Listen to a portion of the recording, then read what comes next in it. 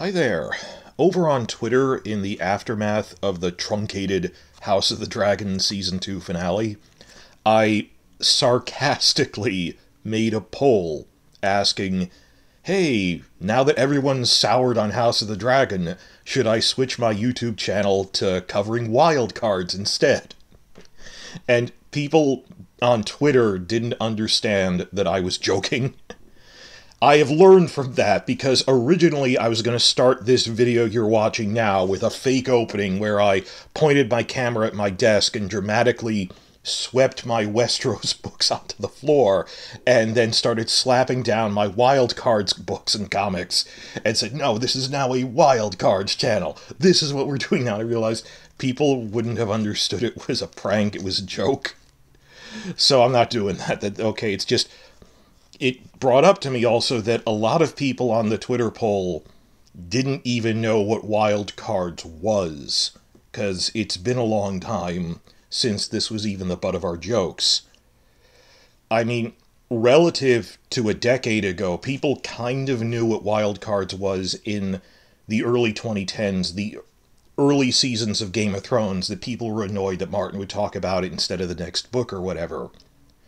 So, because not a lot of people even knew what it was, and for those who hate on it because he's mentioning it but actually don't know what the story is, I thought it might be a good idea to give a basic introduction to it. Given that by pure chance, okay, this poll was like just five days ago, and today is September 15th, which in the story verse is Wild Card Day. I'll explain what that is.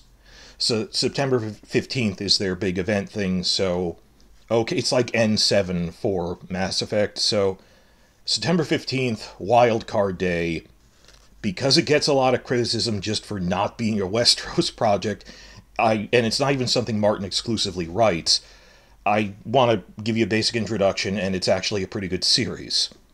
Now, I had wanted to do this really detailed with images and stuff. I'm sorry, there just isn't time. When I looked at my notes and realized I've got like eight pages of script here, gonna have to do this as an audio only podcast, but you can search around for the exact images and everything. Basically, Wild Cards is a realistic, dark, gritty deconstruction of superhero comics specifically riffing on X Men comics, though all of them generally.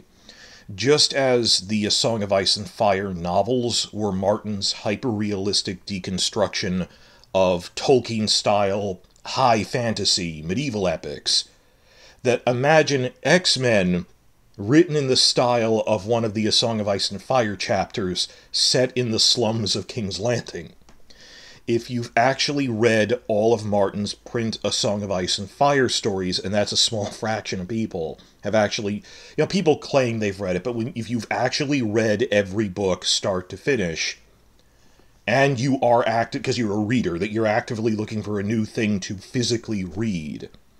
Yeah, I think if you've read everything else first, you might want to move on to this because Wild Cards is sort of written in the same tone, but for an X Men story. In fact, there's pretty strong comparisons between the tone of Wild Cards and Alan Moore's Watchmen, because they were both written in the 80s, and more recently, Robert Kirkman's Invincible.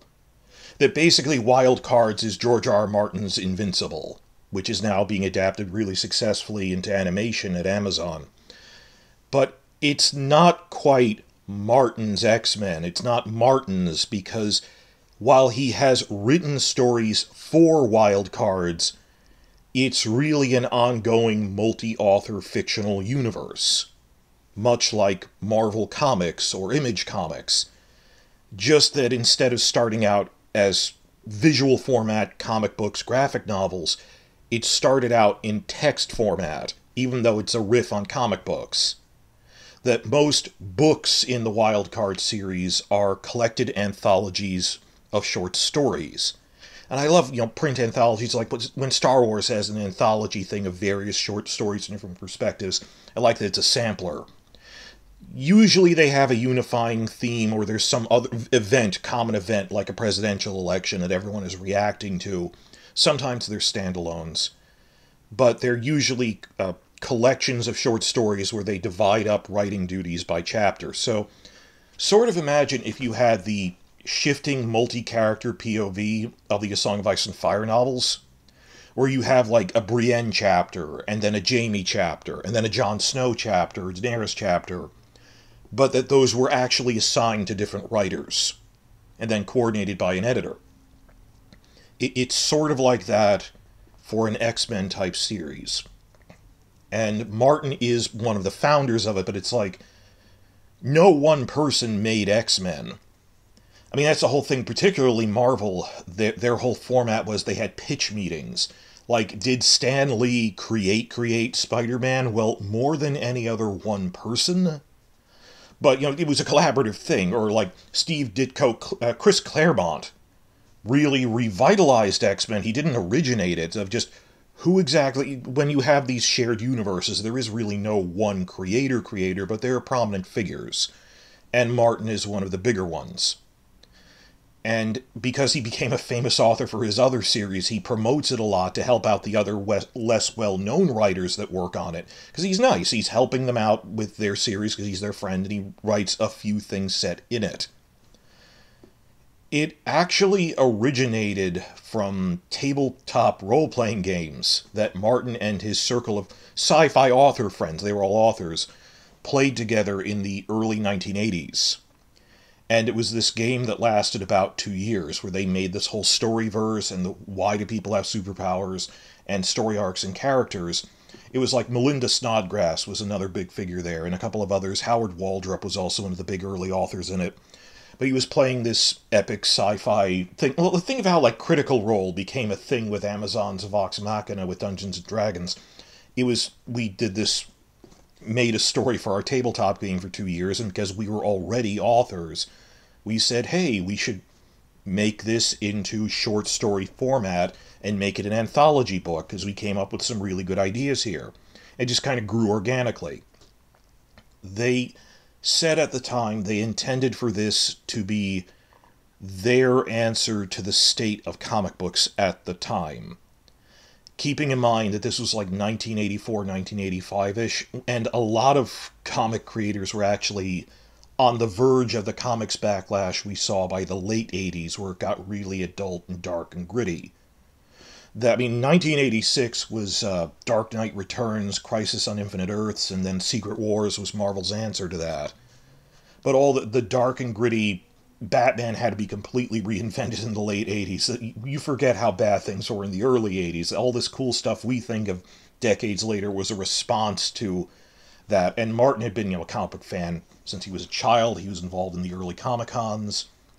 That part of that wave of Dark Knight Returns, Watchmen, Secret Wars, all of that mature stuff in the late 80s that was responding to it, they were part of that wave as an art movement of let's make something that's adult, gritty.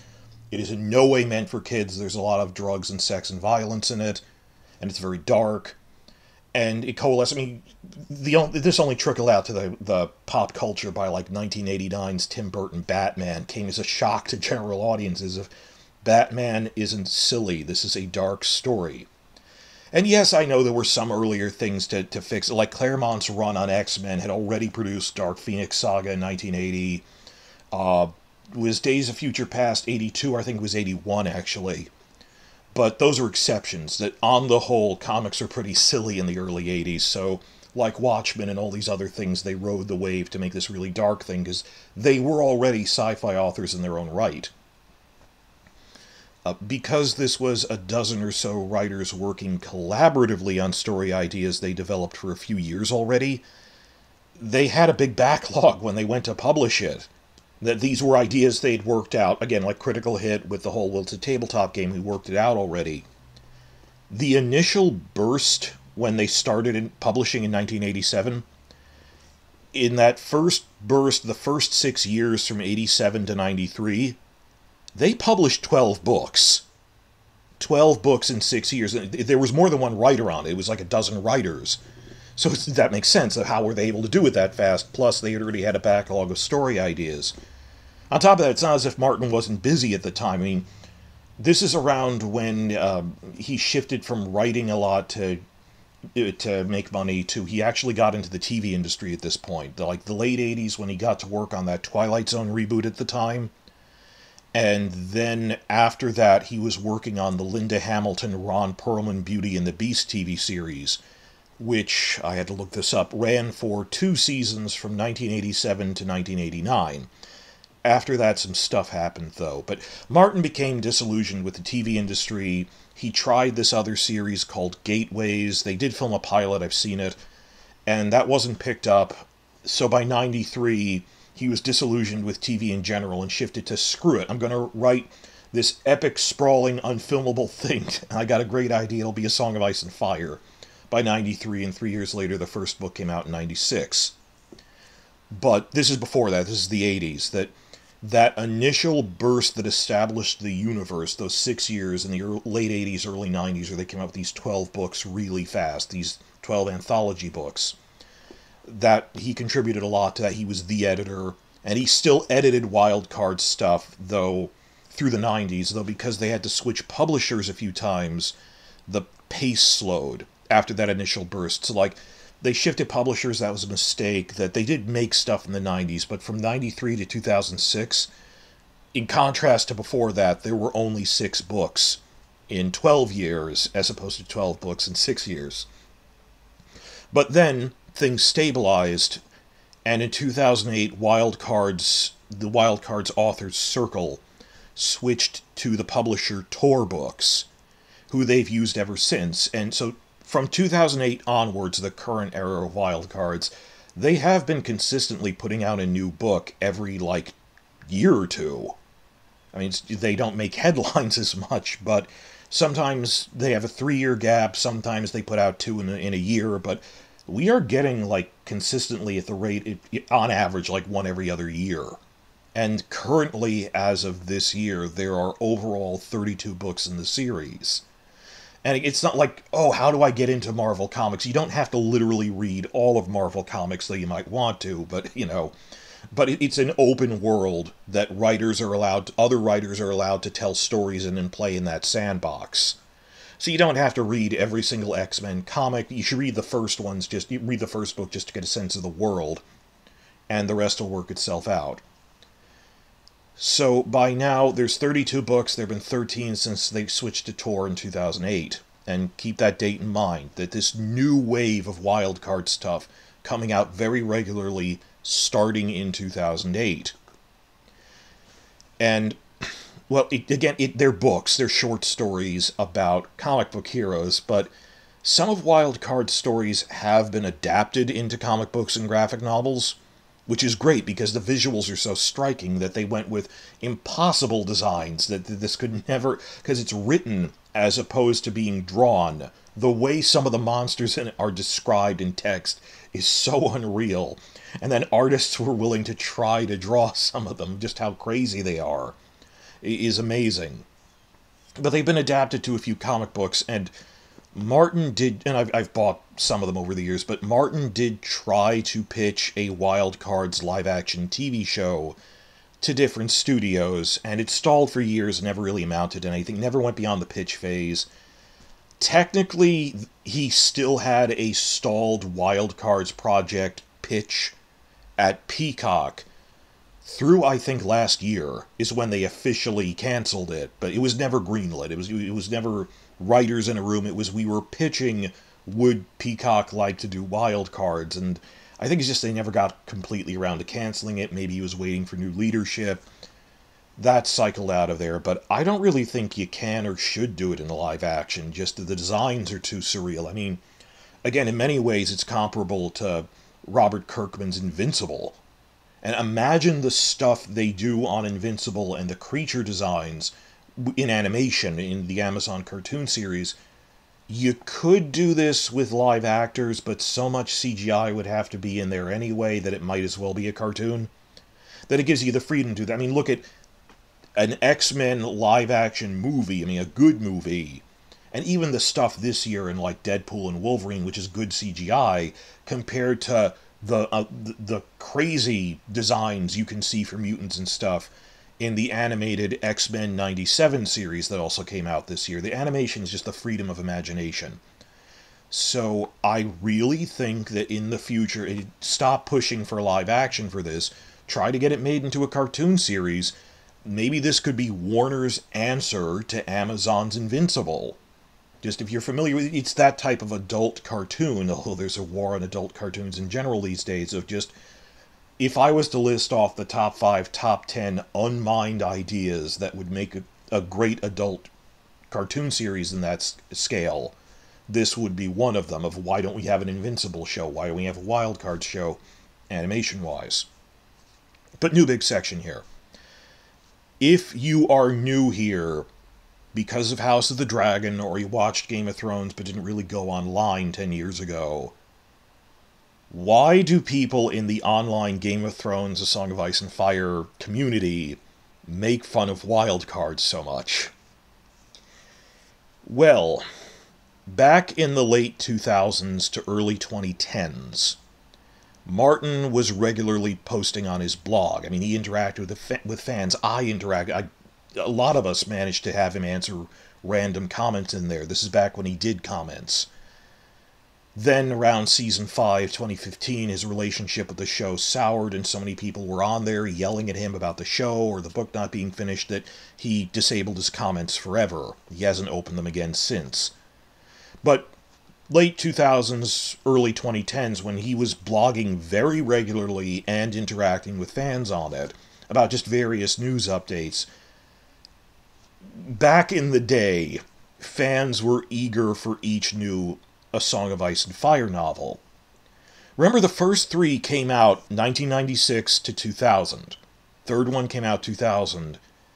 And then everyone had to wait five years for the fourth book in 2005. And for a book of that size, I think five to six years is a decent wait. That I am willing to wait five to six years for a book of that size. It is huge.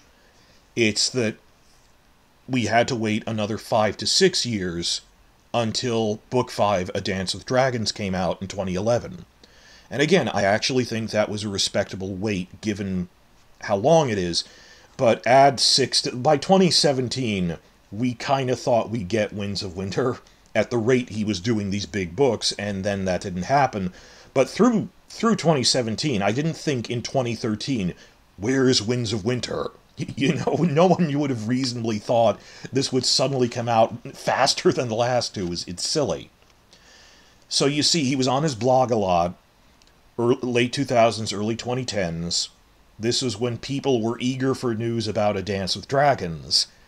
And right after A Dance with Dragons came out 2011, 2013 ish, it's where's book six? Where's book six? Even though it's not going to come out in two years. But it you see how it lined up with the resurgence of wild cards that whereas they put out maybe six books within the last 10 12 years before that when they switched to tor as a publisher 2008 onwards and they were putting out sometimes two books a year or at least every other year that they've had like 13 books since 2008 the joke for this like five to six year spread from like 2008 to 2015ish was Martin would say, Well, I haven't really made any progress on Winds of Winter, but I do have some news about a great new Wild Cards book. And the point is that he didn't personally write these wild card books anymore. That he was promoting other writers who had some nice stuff that he wanted to talk about. And it's really the same way people make fun of how he'll blog about, I saw a good football game today. And it's like he does that when he's not working. It's it, eh, people were upset at anything other than news about Winds of Winter. I don't want a blog post about. So, good-heartedly, some of us meant it as a good-hearted joke of, "Hey guys, have you heard about that great new Wild Cards book coming out?" But I knew what Wild Cards was and I actually liked it. Just hey, want some Wild Cards? But it's not that, we hated it. But then some people really were hating on it this goddamn wild cards. You understand he isn't working on it. That I checked this. That after that huge, this is like he's like the Stan Lee, not the Chris Claremont. Chris Claremont came in the second wave of X Men. He was part of that initial wave that invented the Wild Cards universe. That those first twelve books, he was the editor for decades. But in terms of actually sitting down and writing books, after the mid 90s, when they only put out like two trilogies anyway, since the mid 90s, Martin is only credited with actually writing exactly one short story. It's just one short story, not even a novella or a book or anything, for Wildcards. When they relaunched with the new publisher Tor in 2008, just to help kick it off, he wrote a short story for the first relaunch book. I mean, they're not two continuities, just it's relaunching into regularly making more content again. I mean, like when X Men Comics relaunches with number one, but they don't reboot the continuity. It's just, oh, but we got a new production run after going on pause. Like, uh, like right before Dark Phoenix. Like when they went on pause because of um, in the early 60s, but then came back, and it's still the same continuity, but they were on pause production wise for a bit, but they came back. That really, in terms of writing this, other than one short story just to, to do, and this is before the TV show was even filming Game of Thrones, it's like 2008. Martin hasn't actually written written for Wild Cards since the 90s. He was helping to edit it, and at this point, I really think it's more that he delegates the editing to other people and that he slaps his name on the book in big letters, edited by George R. R. Martin, just to help promote it because it's a story verse that he's friends with the authors and he wants to help them that he's a better known writer than them because of his other series. So people are were always hating on wild cards when why isn't why is George doing wild cards instead of Winds of Winter? I don't think wild cards even impacted the writing of A Feast for Crows in 2005. He wasn't really working on it after 2000 that much. Or just as any other little event he goes to, but it wasn't really something he was deeply invested in as a work thing. I mean, he reads it and he likes it, but in terms of writing in it, he's not really doing that anymore. So that's why I am playfully joking about, oh, you want to see some wild cards? Because I actually do like wild cards, but that's how it became a joke. But that was in the early 2010s when Martin was still regularly blogging and we were making fun of oh, yet another blog about wild cards, not progress on Winds of Winter. And now that's not really as much. People complain about all the other things he's promoting. But that's where the joke originated. Next big section here. What is the setting of wild cards like specifically? That I said it's sort of a George R. R. Martin realistic, gritty adult take on X Men meaning what specifically? Just in terms of the plot mechanics and everything. Well, I'm not going to go into specific stories and characters. Like, if you were to ask me to describe Marvel's X Men comics, I wouldn't list off specific things like Dark Phoenix Saga, Asteroid M, but I'd tell you the general setting idea that all over the world, the next stage in human evolution is randomly appearing in people born with the X gene that gives them superpowers. They actually get discriminated against, and paralleling the civil rights divide between MLK and Malcolm X, some mutants follow Professor X, who pushes for peaceful coexistence with humans and mutant civil rights. And at the other end of the spectrum is the mutant extremist Magneto, who is convinced humans will never tolerate them, so they should use force to fight back. And then you have a lot of mutants in between who just plain abuse their powers as unaffiliated supercriminals, and the X Men try to stop them. Like that one paragraph is basically the overview of the entire X Men series, setting wise. Like you don't need to get into all the the Krakoa stuff they're doing now, which is great, but it's really complicated. And I appreciate that Hickman thought it out in advance. But how do people get superpowers in X Men? They're born with the mutant gene. And Stan Lee admitted that he just came up with that as a quick, lazy answer because it was easier than coming up with a case by case answer for every new comic book character's superpowers. That we'd have to come up with every new guy has his version of I was bit by a radioactive transgenic spider, or just we had to come. Just say they're a mutant. We don't need to come up with reasons. But later writers refined this into, well, it's happening naturally, it's the next stage in human evolution, that there seems to be a purpose to this. Moving on now to how the Wild Cards universe works is a basic introduction if you've never heard of it before, if you've heard the name, didn't really know what people are talking about, and it actually is a pretty good story verse as an idea. In the Wild Cards universe, people get superpowers from an alien bioweapon that, that was test fired on Earth that there's an alien race from the planet Takis who are genetically and visually identical to humans, but centuries more advanced.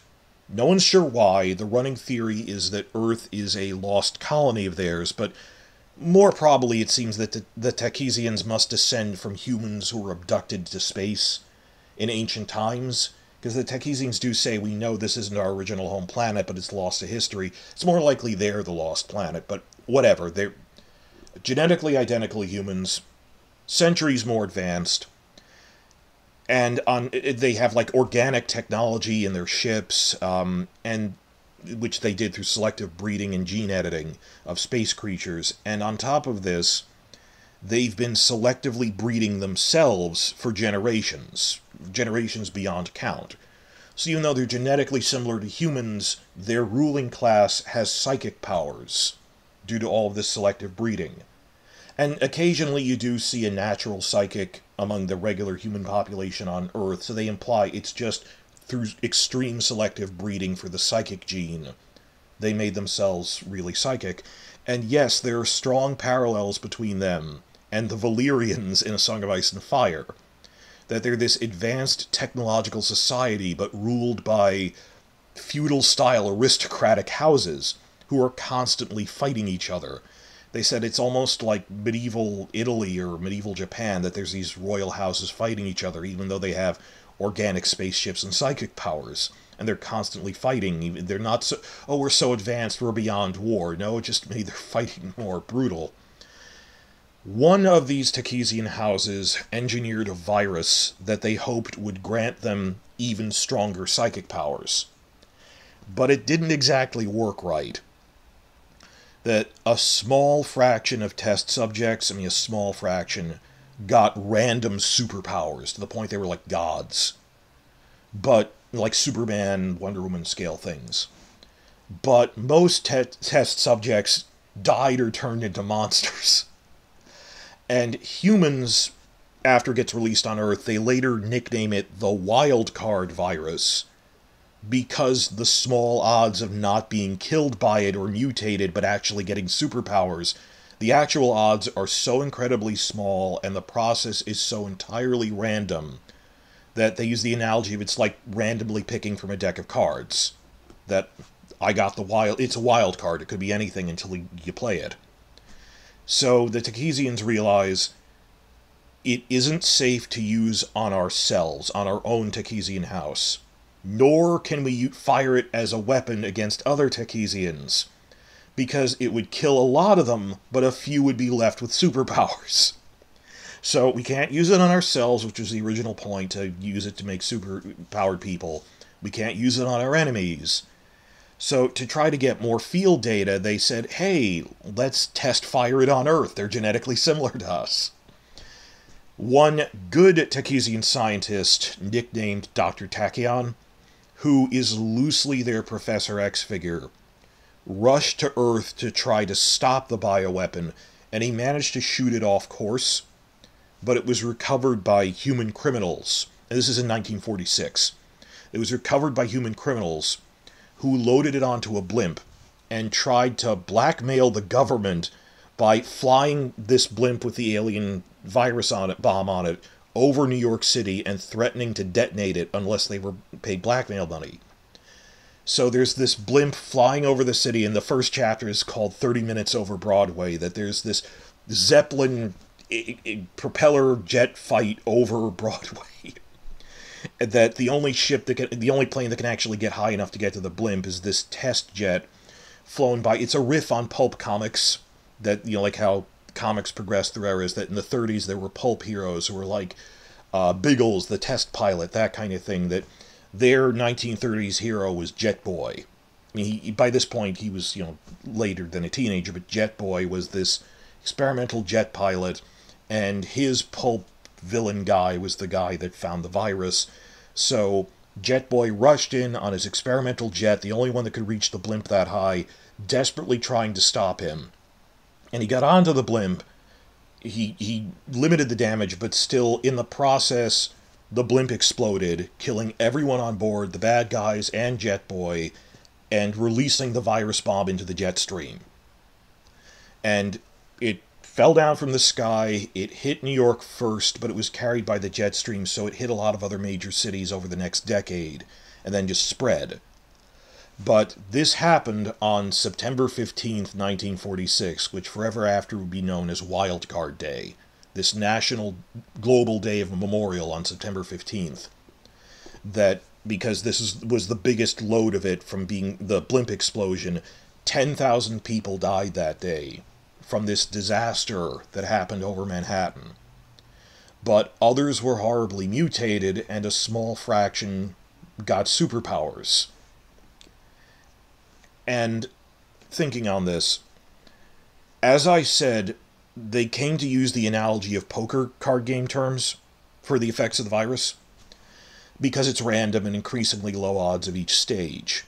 That loosely there were three broad categories that they say 9 out of 10 infected people instantly die. It has a 90% kill rate. Only 1 in 10 survive, and only 1 in 10 of those survivors actually get superpowers. The rest are mutated into monsters. So we're talking literally 1% get superpowers. And they get nicknamed aces that you drew an ace from the wild card. And that 9% of people who survived but were horribly mutated are nicknamed jokers. Aces and jokers. And the 90% who instantly die are said to draw the Black Queen. However, pretty much the main theme of the series is that these categories are artificial First off, this was a world that had Golden Age Superman comic books from the late 1930s, right? Before it split off into this alternate history with young superpowered people and stuff. So they had Superman, they had some of the original stuff. When all this started, it began with the stereotype that, oh, well, I guess the aces will be the superheroes, and the disgusting jokers will be the supervillains because they look like monsters. The jokers aren't monsters, they're just horribly disfigured people and many of the aces abuse their powers. Heck, even like costumed superheroes really weren't a thing in this world. That it isn't, oh, this is how everyone's acting like some Rob Liefeld poorly drawn image comics thing. They don't wear spandex. Many of them aren't even career superheroes or supervillains.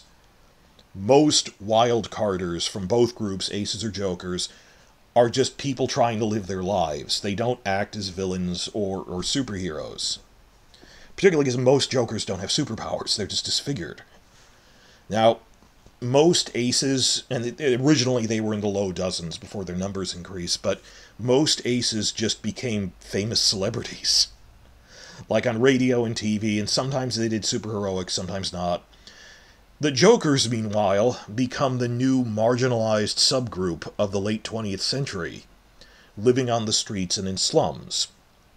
Now, New York City still has the largest wild carder population of anywhere in the world, and all the Jokers there gradually coalesce into the slum district known as the Bowery. Uh, it's a real street wedged between, like, the Lower East Side and Chinatown, but below Houston, but up from the bridge. I mean, I, I'm in New York City. I actually used to work near the Bowery briefly. And in the early 20th century, it was basically New York's Skid Row. Skid Row is the name of the specific slum district of Los Angeles, but today has become a byword for slums in general. So, New York's Skid Row was the Bowery. It's not even a real neighborhood, it's like the borderland between other better defined neighborhoods. It's like next to Chinatown, next to Little Italy, it's below Houston, it's near Lower East. It's not really fitting in one place it's you know how you always push like the trains and warehouses at the edge of your neighborhood? Well the other neighborhood pushed theirs too and because it's where like three five neighborhoods connect it became the region underneath the elevated train tracks running down this strip where it's just cheap housing. So there's like cheap bars flop houses uh, just junk and there it was infamous for there's just drunks and bums and homeless people on the street there and nowadays it's different from that. This is for like almost 100 years the Bowery existed. Nowadays, due to you know urban development, it's mostly where they put all of the restaurant supply stores now. Like if you walk down there, there aren't bars of any kind, there aren't restaurants of any kind, or whorehouses or whatever. It's like restaurant supply stores and warehouses. But at the time, and like Christie Street is next to it, the Bowery is there. Point is, it is a physical place you could go to, but in their alternate history, it ne- never stopped being a slum district, which it was in 1946. In their timeline, because New York has the biggest Joker population, enough that they form a subgroup, they all coalesce there because no one else will have them. And this is like classic immigration patterns. That when you look at when new immigrants come in, they come in whatever at the time happened to be the cheapest location.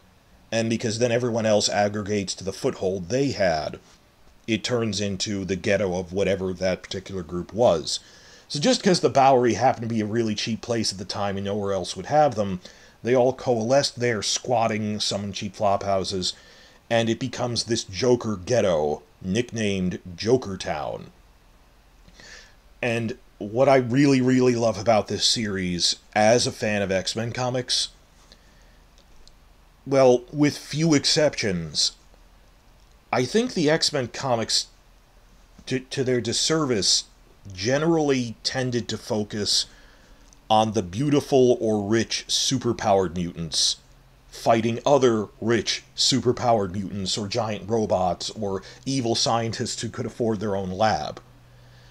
Given the whole premise of the X Men comics, what I really thought was more interesting were storylines exploring the Morlocks, or just everyday random mutants who are just teen runaways, or people just trying to get by who don't. They're not all what they call Omega level mutants like Magneto or Jean Grey.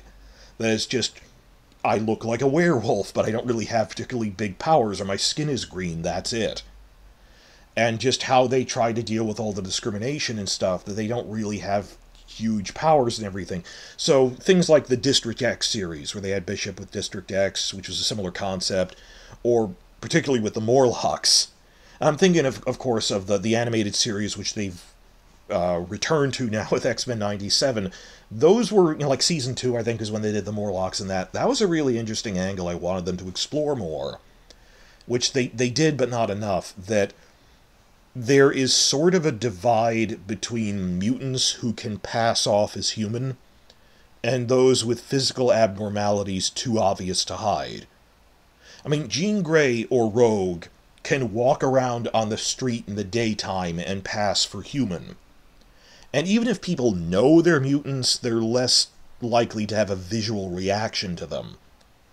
But we're talking like the mutants who can't pass for human, who are either heavily discriminated they're heavily discriminated against, can't therefore unemployed, thus homeless.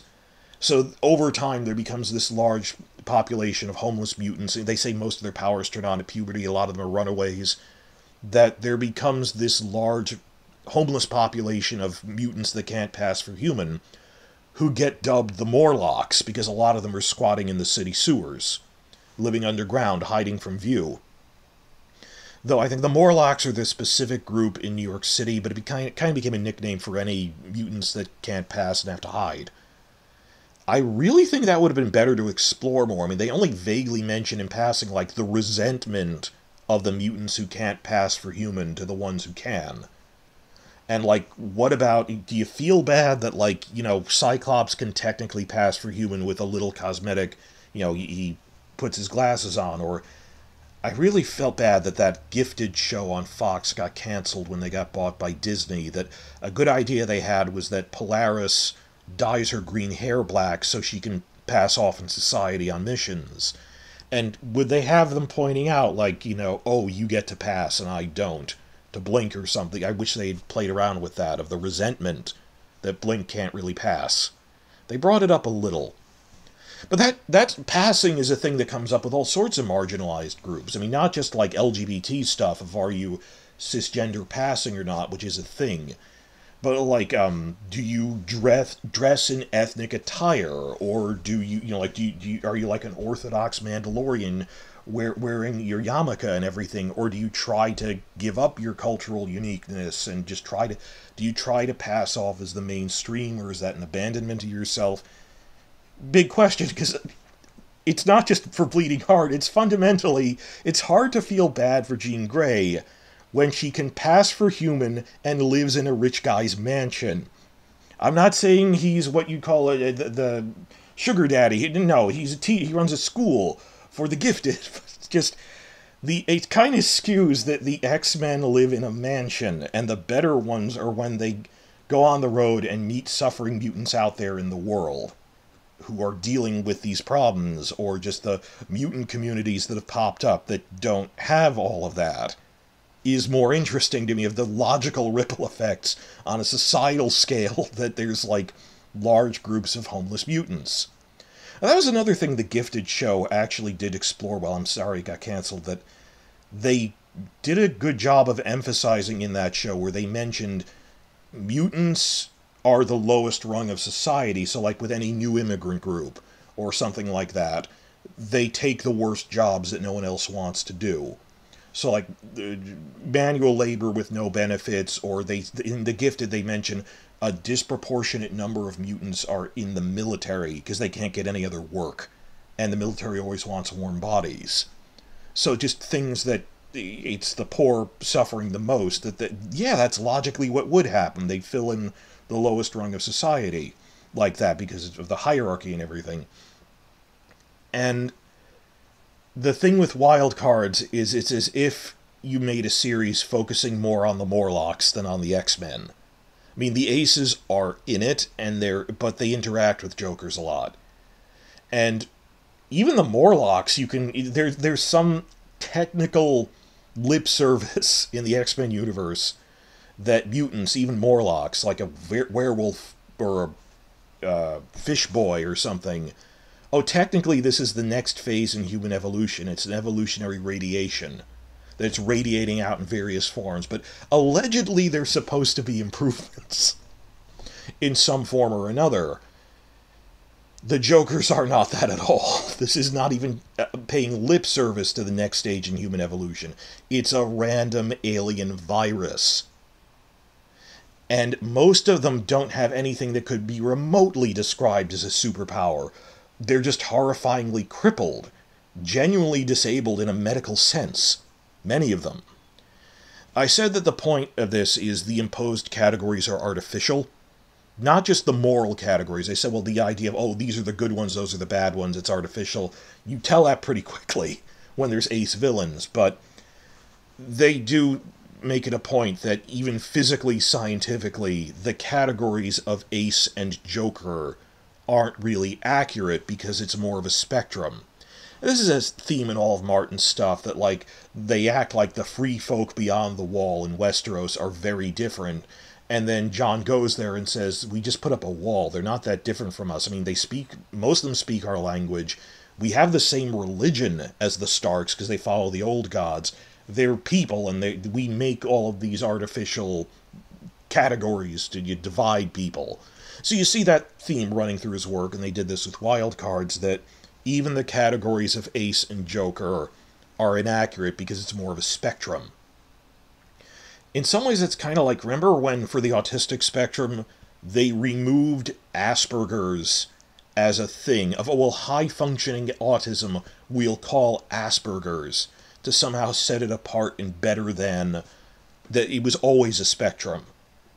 So, why are we making categories for this is is what would you call the not autistic, the not Asperger's but autistic people? That when are you going to make up a, a derogative term for that or something like Rain Man or something? I don't know, but they're right that in terms of you know you meet one autistic person, you've met one autistic person. It's such a spectrum of uniqueness that you can't really impose these medical categories on it because it's inaccurate if nothing else.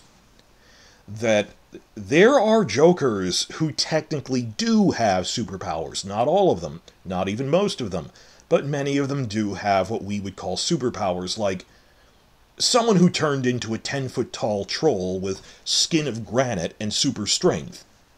Or, or, or like Beast from X Men. If Beast from X Men in his form was in the Wild Cards universe, they wouldn't consider him an ace. They would con- they they came up with this ad hoc name that oh if they're a Joker but have useful superpowers, we call them Joker aces. Just oh they're, well they're Joker aces because the, the the border between the two is fuzzy. I mean, they also say different countries came up with different names for the superpowered human looking ones and the disfigured ones. That in the UK, Joker, in the United Kingdom and Britain, they call Joker aces knaves after poker. Because um, in the United States, in poker, the card below queen but above 10 we call jacks.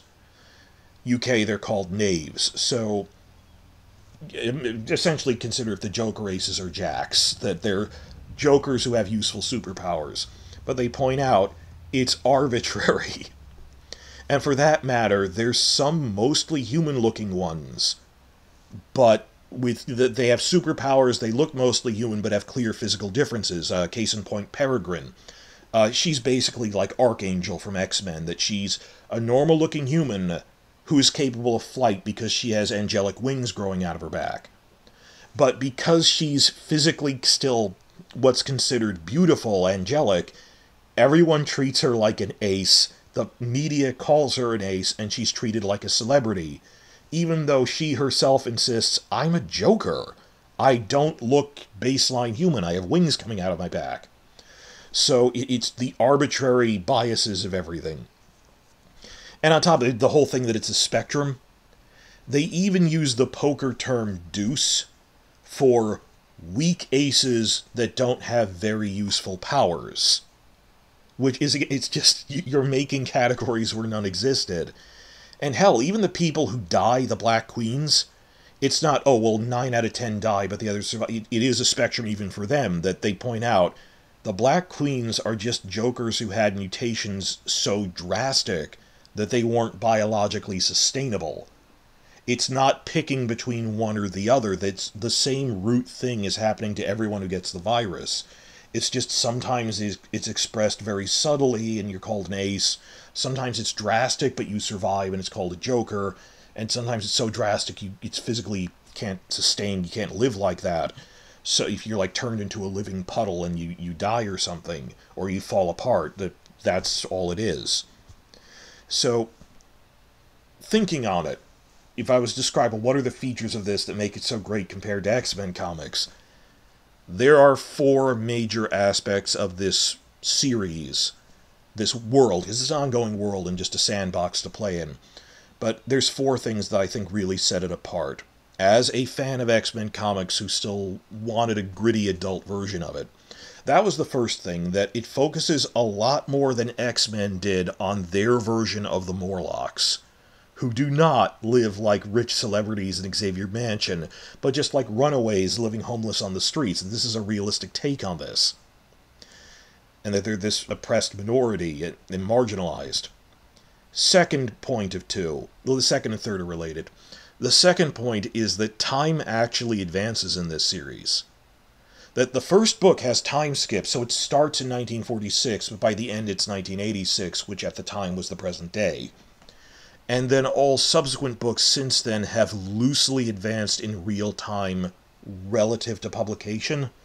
I think the most recent one might be up to year 2000 or something. They might have slowed down a little, but generally time passes on a generational scale in this. It's not perpetually The Simpsons where time is standing still or something. And the, the mutant kids that never grow up because they have to be the teen version. Again, it's a lot like how Watchmen did this actually with Alan Moore. That Watchmen, the main story is set in 1986, but goes back 50 years to different historical eras of how the public reacted to superheroes from the golden age late 30s Minutemen through the 1950s when the anti-communist groups had a crackdown on them. And that was the same time there's a crackdown on comic books with, with, with the anti-comics code and then through the second generation of Silver Age heroes in the 1960s, the Watchmen Crime Busters. And they end Watchmen sort of at the start of the Bronze Age in the 70s.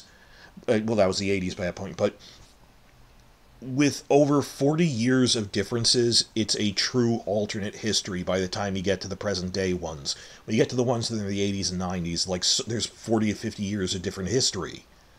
So as an alternate history fan, it's also kind of fun. Just the world has developed differently. That well, they're focused mostly on the U.S. and Manhattan, so they don't talk about the rest of the world too much. But uh, the Cuban Revolution never happened. Uh, Gandhi wasn't assassinated, so India was never partitioned. But this also meant the nationalists in the Congress didn't have much of a rallying cry for unity. So they mentioned that India is the entire subcontinent, but it's only a loose confederation, as opposed to two united countries that split apart from each other, or three now. But they mention little things like that. There's another full book set in what the UK, how they handled wild cards. It varies by country. Uh, East Asia was one of the last places to get hit by the wild card in, in, in small numbers, so they go like aces and, and they're not as discriminated against in East Asia because there aren't that many of them. Uh, other thing, it varies by country but and there's all this other stuff. I mean, there's also a thing that like wild card or extremists carve out their own national homeland in Central America, like Krakoa, but they don't go into that too much. But just even on a local level, like the world is different. History went differently. People weren't assassinated who were, that kind of thing.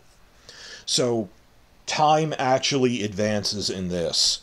And some of the older characters, main characters from the initial books, eventually die of old age because time is advancing to, to, that point.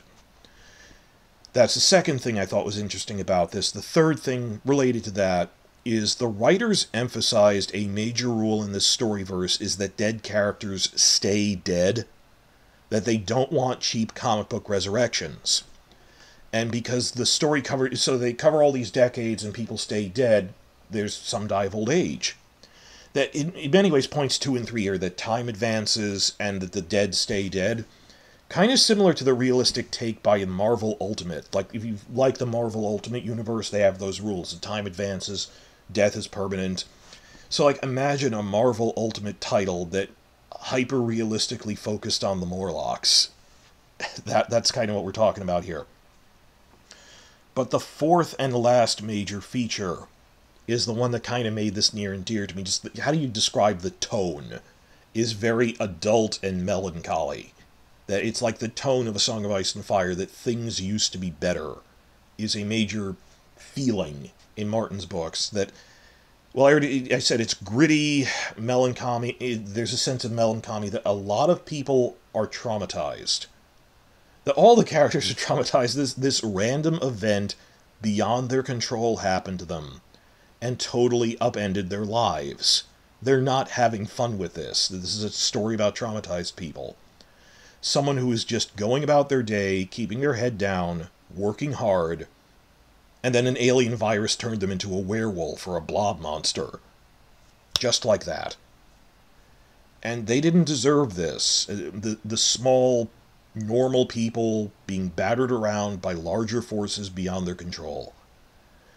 What I'm trying to aim at is that a lot of these writers, case in point Martin, who first developed the series in the mid 1980s, these writers were heavily affected by living through the Vietnam War, and many were members of the anti war movement. I mean, Martin himself was a conscientious objector. He's explained how, by blind luck, I got a draft board who said, Oh, yeah, you'll be branded a coward forever, so we will grant your conscious objector status conscientious objector, and Martin has also remarked, and you can tell from his writings, that he doesn't regret that, but he feels bad about other people who got drafted and had to go anyway and didn't want to, or got theirs turned down by their board.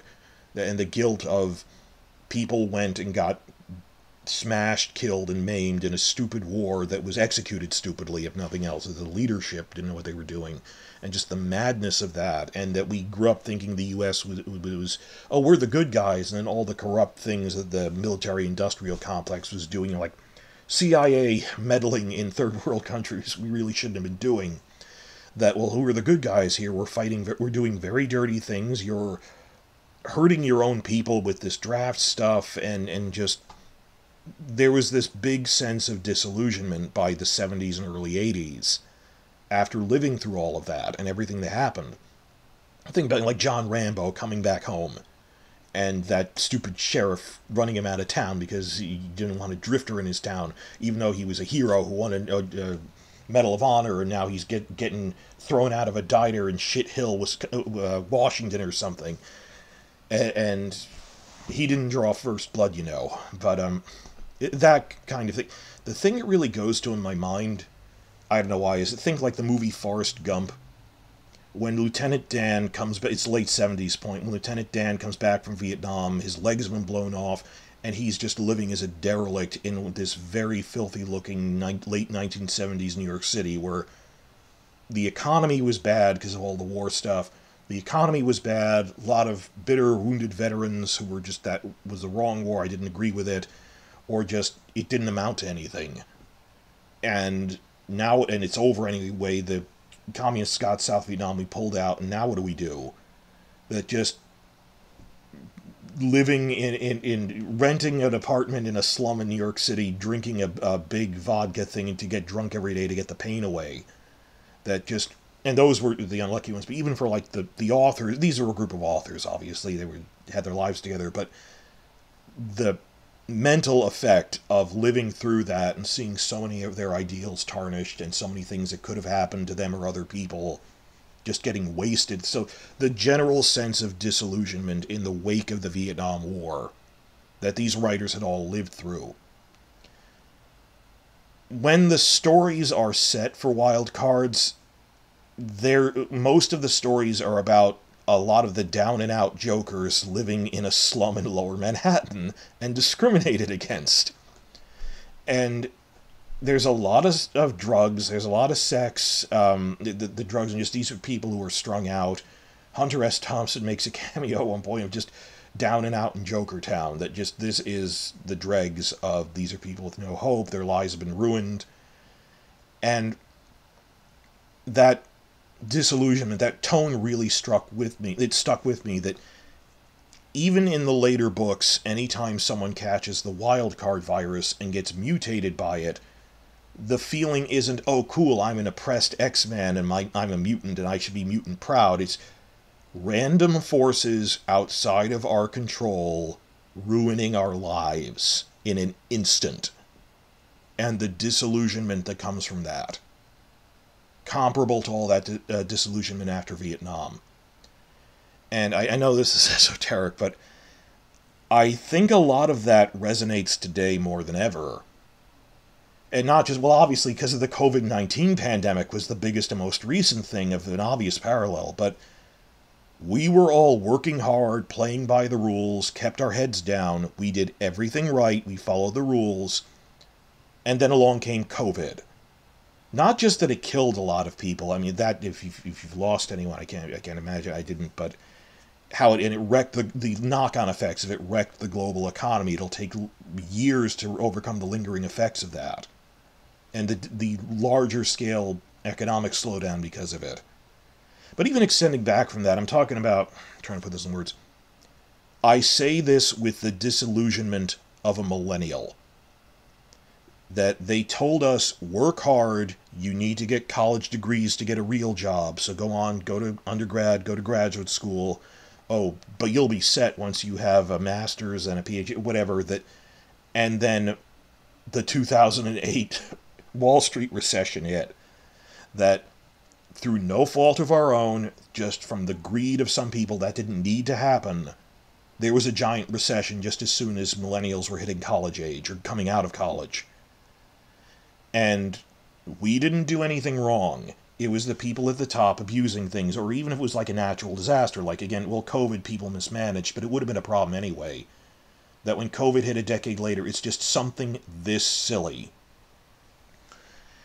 It kind of reminds me almost of Attack on Titan, that originally anyway. That Attack on Titan was a metaphor for like the trauma of sometimes random bad things just happen that like I was doing everything right on my farm, and then this crazy looking titan creature ran up and ate my parents. That the surrealism is part of the insult. That this wasn't part of, well, you know, this is part of life. No, no, this is decidedly not part of life.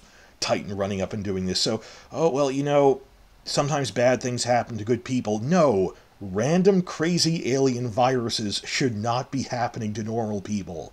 This isn't normal. This is an outside context thing that happened to us. Like war. War is inherently insane. No one, it's not supposed to be part of the normal fabric of life. And if you get maimed in war, or just you get your youth taken away by being drafted, and then all this other stuff with the economic downfall, this is an outside context thing that you had no control over that drastically affected your life. So just thinking for millennials in general, I mean, we had 9 11 itself, then we had two decades of forever war in the background, tapering off, finally ending because the invasions right after 9 11 were stupid and poorly thought out. That was a problem. Then the 2008 economic recession, and just as after we clawed back for 10 years from the Wall Street recession over all the subprime mortgage stuff 10 years later, all right, okay, that was right after we got out, of college. We had to work jobs just to get by, but we're finally going somewhere. Then COVID hit. So we got screwed over twice in a decade at the early part of our lives. And a big thing is it is the poorest who always suffer the most. And I am not the poorest. I am not the bottom of the pyramid. That all those things you saw during COVID on TV of working class people or people on the poverty threshold were devastated. I mean, I, you know, I'm annoyed I didn't work for three years. Eventually I did. But people who were, you know, living paycheck to paycheck, trying to raise their kids because they didn't have generational wealth, were just, they had no safety net to fall back onto. So that devastated them. That it's always the poorest who suffer the most and it's always the rich who can weather bad things well. So it's that whole parallel of there's a tiny percent at the top, the aces, who got through this, arguably benefited from it, and the larger number of people who got stuck, mutated as jokers, are dead. And that this isn't the story of the aces so much as it's the story of the categories and bad things happening beyond our control. It's not, hooray, aces are cool. That's really just a conscious. Some of the aces are good people, a lot of them actually, but others not so much. And just all of, I know I'm rambling, but all this just resonates so much of random bad things happened that changed the trajectory of our entire lives. Let's just say COVID for, for short. And no one deserved it that X-Men is about the next stage in human evolution and identity politics. That they, they are mutants, but it's it's their identity. But getting the wild card virus and one out of ten odds you'll live, and then nine out of ten you'll be a freak. You could just as easily have been an ace. That's the point. It's not well you were always going to be a uh, X-Men mutant. It's one in ten you could have still looked human but randomly, 9 out of 10 odds, you look like a monster. And it is entirely random. It could have gone the other way, it simply didn't. There's this big bias that Jokers are unlucky because it could have happened to you, is the, the thing that. It, it, luck of the cards. Random thing. The, the randomness is what hurts me more than anything else. And the trauma, the on top of that, the insult of something completely like a when like a farm get a town gets destroyed by a random tornado or something or or a meteor strike or an earthquake or something that we did everything right and something bad still happened. And the randomness of it. Like the, the randomness of Bruce Wayne's parents being brutally murdered and mugging that it was random. Freaks everyone out. And just the disillusionment they have of an outside thing happened to me which I had no control over, and was I just this unlucky and I'm powerless against it? And how everyone is just really burned out. I mentioned how, so it's a lot of psychological trauma stuff. I, rem, I mentioned how the virus first got unleashed by the hero pilot Jetboy, try, trying to stop criminals from detonating it in the blimp over Manhattan. Well, he managed to crash land into the blimp and he's fighting the head bad guy, his nemesis.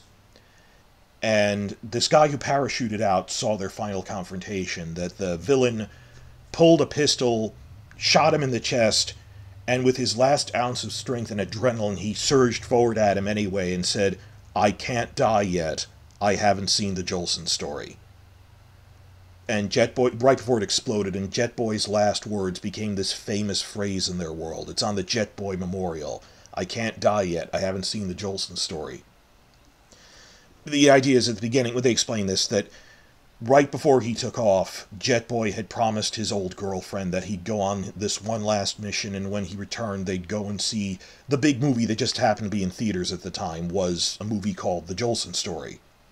So really, directly compare this. I know, directly compare this to like the end of the first Captain America movie, when he promised Peggy Carter over the radio. he promised her, "This is our last mission. I'm going to come back alive, and we'll finally go on our first date. We're going to go dancing together because I was too bashful before." But instead, he's trapped on a crashing plane, but can still talk to her over the radio. And he's going to crash into the Arctic. He's going to die, but he's talked to her on the radio and he half-heartedly, pathetically, melancholy, knowing he's going to die. They both know he's going to die or think he will. He half-heartedly mouths, "Don't worry, Peggy, I'll be all right. I can't be late for our date dancing, can I?" And he know he knows. Well, I can't die now. I'm going to go dancing. He he says mournfully as he's facing death, sarcastically. And then 70 years later, he wakes up and says, Well, I had a date. But that whole thing of him going down in the, in the Valkyrie plane and I can't miss our date, can I? That the whole point is Jet Boy has just been fatally shot, knows he's fat- fatally shot on an exploding blimp, and half defiantly, half ruefully, he just, he's strangling the villain back, goes, I can't die. I haven't seen the Jolson story. That it turned into this catchphrase, uh, this bitter catchphrase among the Jokers and the world in general because of all the ripple effects. Basically, the way it's used is think like pretty teenage girl graduates high school, is on her way to college on a paid scholarship, then suddenly catches the wild card virus and transforms into a horrific half spider, half octopus mutant. That, like that, randomly, purely randomly from an outside event, you are traumatized, your life as you knew it is shot. It is over. That imagine if right after being turned into this spider squid monster, she bitterly, half bitterly, half pathetically says, But I can't catch the wild card. I was going to see the Jolson story. Instead of I was going to go to college, it's, but I was going to see the Jolson story. It becomes this self referential catchphrase for my, my life and dreams were ruined. And I had a life that I was going to have before this outside event happened to me. That I can't die yet, I haven't seen the Jolson story became this byword for lives shattered and dreams unfulfilled. Some of you might remember two years ago I was quoting that phrase a lot that um my five year old cat uh, suddenly wasn't feeling, feeling very well two months after Christmas, and the doctors found out that he had a massive inherent heart defect. It was a birth defect, it was always there, and just it got bad really suddenly. And they said he had a year to live at best, and he only lived one month. And I always knew I'd outlive him, but we raised him with his brother, and he wasn't even at the halfway point of his life and he was he was Spitfire was going to have a decade or more of getting into adventures and doing stuff with his brother and he was going to but that didn't happen. So when I picked him up from the cat hospital I I was talking about I'm really my schedule is smashed for months at least. I, I have to deal with this. I brought him back from the hospital. I took a short video of showing he was eating comfortably in his own house again for a couple of weeks. But the day he came back, I took a photo of him, put my hand on him, and I, I love him. And I, and I, the the only thing I said on the video, uh, I titled it with quotation marks as if he was saying it. I can't die yet. I haven't seen the Jolson story. And a month after that, he died, peacefully in his sleep, at least. But, but that that phrase really st- stuck with me. Of some completely random outside event that had nothing to do with our own actions and it wiped away lives and dreams or yeah, keep in mind I was I was completely I was loopy about that for the rest of 2022. You guys saw, I'm sorry about that, but realize that was the last straw. I keep telling you, you understand this was in the string of things that I hadn't worked in two years because I'd been in pandemic lockdown for two years in my own house. I was kind of freaking out just from lockdown and I was holding it together on adrenaline. But this, on top of all the other pandemic stuff, just the last straw I couldn't take anymore. And I really, I, I really turned to Jello for a couple of months there through the rest of 2022, and I was angry at everyone. I'm sorry about that, but just it, it was uh, that that was the breaking point where I couldn't handle that on top of all the other stuff. And it was like the exclamation point at the end of a terrible two years where there's this pandemic and people are dying and it's really upsetting and everything is going on and the politics of it and war and stuff. And th- this was right after Russia invaded Ukraine, but before the Ukrainians repulsed them. But everything going bad in the world and the news, and just I I just mentally checked out after that. So that was sort of my plea for, but he had a life ahead of him, was I can't die yet. I haven't seen the Jolson story. So, or like Vietnam vets with their legs blown off. Like imagine Lieutenant Dan saying, but I was going to see the Jolson story.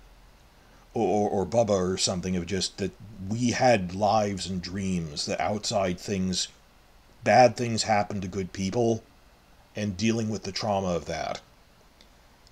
And that is something Wild Cards does that X Men never really did, and in some ways couldn't because they were always born as mutants.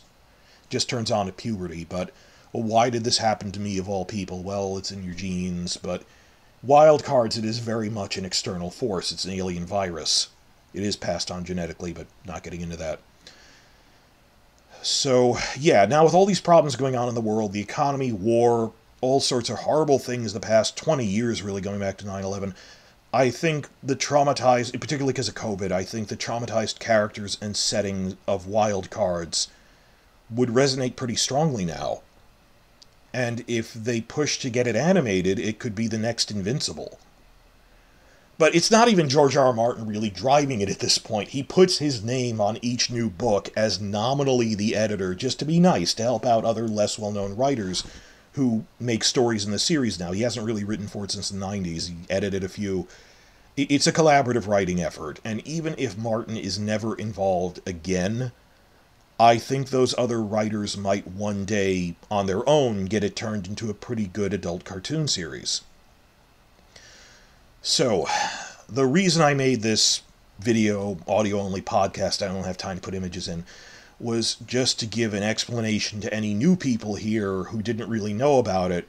Oh, because we were joking about, oh, now we have to. Martin said Winds of Winter, he didn't make good progress this year. What's he going to do? Make a bunch of wild cards updates? And I made a joke poll on my Twitter thing of, hey, you guys want wild cards content? I was joking, but, um, so many people, because 10 years ago people would have gotten that joke, but 10 years on now, Martin hasn't been blogging that much about wildcards or other stuff that a lot of people didn't even know what wildcards was. They hadn't heard the name, and even 10 years ago, people who had didn't know what it was about. That what is wildcards? Why do people keep making fun of it? Well, it was a light-hearted joke of, well, no Winds of Winter news, but wildcards. And I feel bad that it, it stopped being that punchline, turned into a punchline against Martin when really it had nothing to do with slowing down his work. He wasn't really doing it. I mean, by comparison, a new thing Martin is supporting but not working on now is that crime show Dark Winds with the Native American police officers in Southwest. Martin is he's mentioning it pretty frequently now, but he didn't write that series at all. It was a finished series years ago. It was written by someone else. His involvement is purely a money thing, and you get producer credit for he's funding it. And Martin's a great guy who helps out other writers, funds new projects.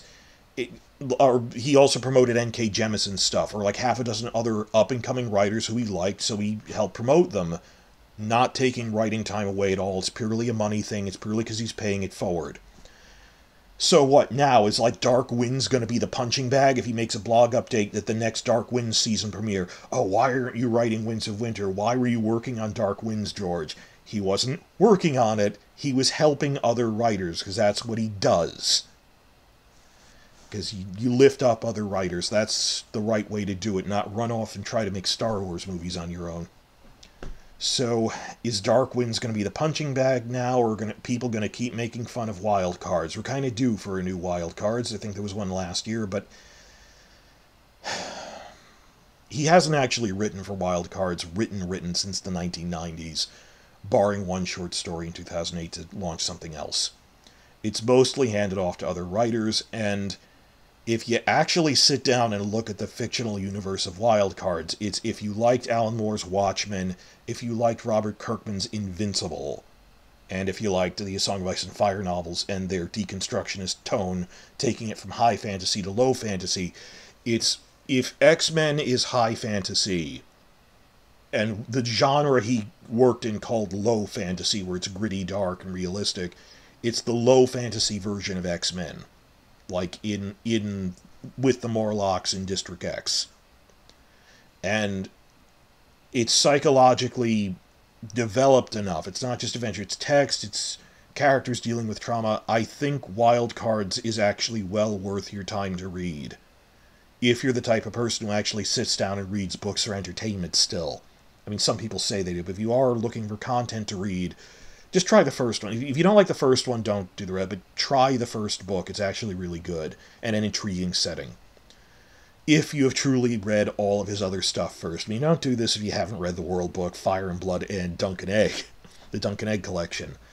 But if you're a fan of X Men comics and a fan of George R. R. Martin, yes, this is well worth your time I'm happy he worked on this. I appreciate that he's still supporting it, and I'm happy that other writers will be continuing it for years to come. Because, like Marvel and Image, it's an ongoing storyverse.